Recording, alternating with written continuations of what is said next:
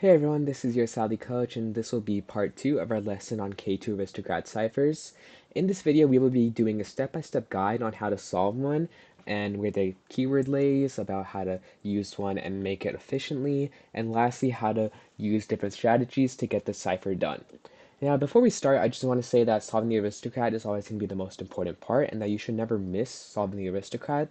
Some people may get caught up on trying to fix the table, but you should definitely just do this aristocrat and nothing else. So let's get started. This one says a quote by Eric Messer in Life as We Know It has been encoded using the K2 aristocrat cipher for you to decode. Now, our first step is always going to be looking at our frequencies, which is P to 9, we have P to 9 right here. Then we also have B going to 9. And we have somewhat high frequencies with H and I and lastly Z. Now with these ones, these could be maybe S, possibly H, maybe a T. So we can look into it and see what happens. But first, let's look at our contractions that we have. We have apostrophe LB, and we also have apostrophe P. Now this is really useful, especially looking at our frequencies, as B is one of our really high ones, and so is P. So this one could be apostrophe T, and this one could be apostrophe E. Now, we don't want to say right now whether L is going to be V or R. Let's look at where else L lays in our text. Oh, it does say that L is singular, so this could possibly be that it's just VE. Since it's such a low frequency, it would probably be apostrophe VE. So now we're just going to fill in all of our P's as T's. We're going to have this over here. Um, and we're just going to go down the line and see where all of our P's are. And now that we have that, we're going to go and put our B in as E.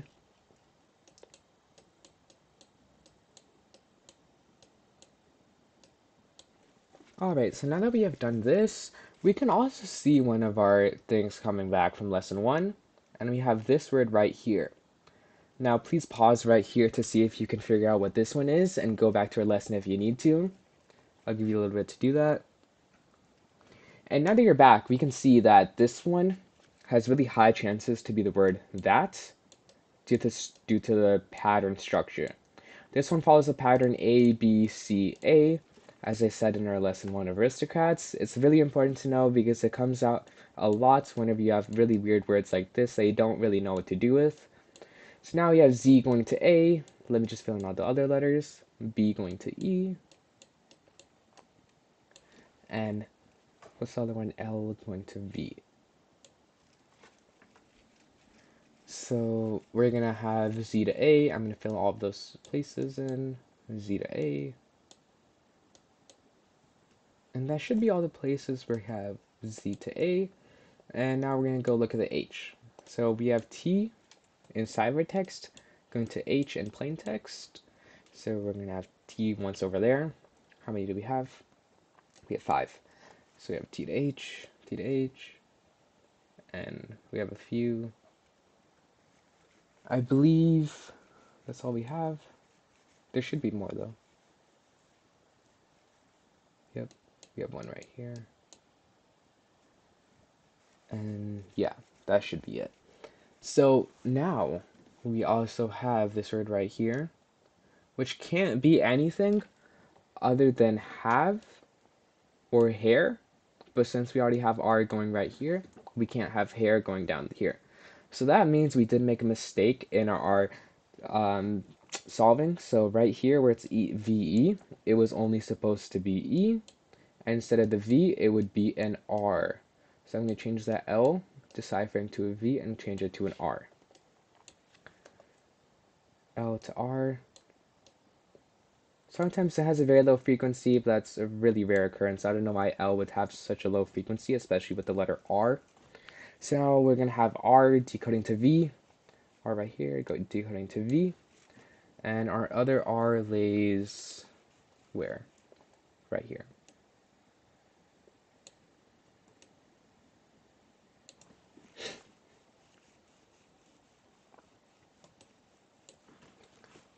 we have one last H right here.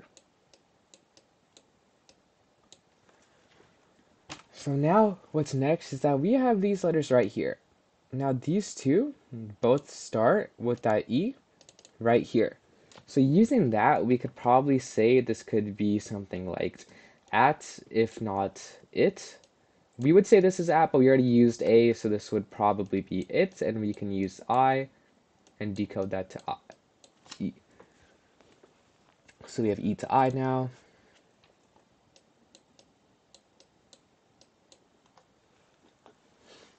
And what else did we find out? Because T goes to H. And I believe that's it. So we're going to fill in all of the spots with our E with an I.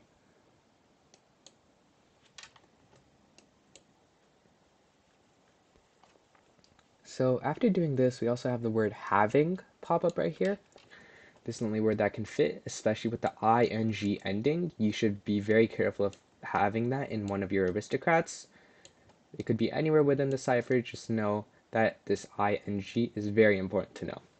So we're going to have H deciphering to N now, and S deciphering to G.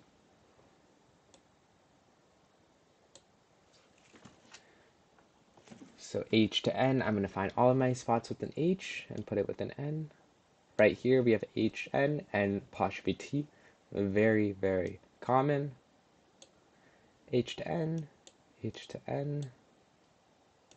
Yeah, right here we have the two letter words in it, as I was saying before. This could be an, at, something like that if it was A, but it's more likely to be an I almost all the time. Maybe an O, like um, on, of, something like that. But in this case, it would be I. So I would still go on with the ends. This seems to be a very easy cipher due to the amount of words that we have practiced with before in our practice problems. So now I also have S deciphering to G, which we only have one, so we don't need to fill that out. Like right here, we have the word not coming, I to O, which is one of our very frequent letters. So we have I to O. Um, I to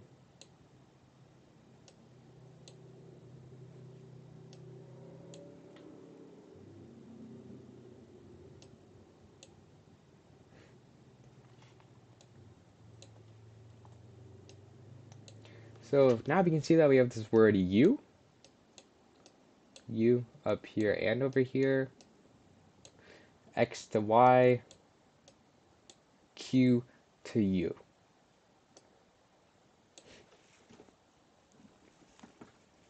So we're going to look for all of our X. We have one right here.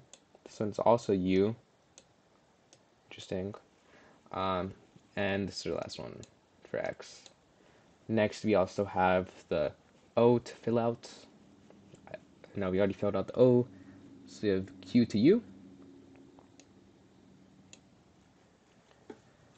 And let me just fill in this one right here. Now you have the word right here, something ust probably. Could be must, could be just, could be um, lust maybe, who knows. Uh, it's probably just or must. So we don't know that right yet, so we're going to have the N to an S and fill out the rest. N to S, N to S. We have another one up here. And I think we have our last one. Yeah, that would be our last one. Now we have the word somebody right here. And that's very useful because we were about to say this could be must or just, but now we know it has to be just. So we're going to put that D down as a J, D to J. And then we have S, N to S, G to M, uh, what else? C to B, and then M to D. We also have this one having somebody help. We also have an H at the end, creating the word alone. We have M decoding to O. We also have F decoding to L now. We have not figured out what U is, so we're going to keep that open. Helping you doesn't back from the somebody doesn't mean oh G to M that you have so now you have the word doesn't mean that you have failed.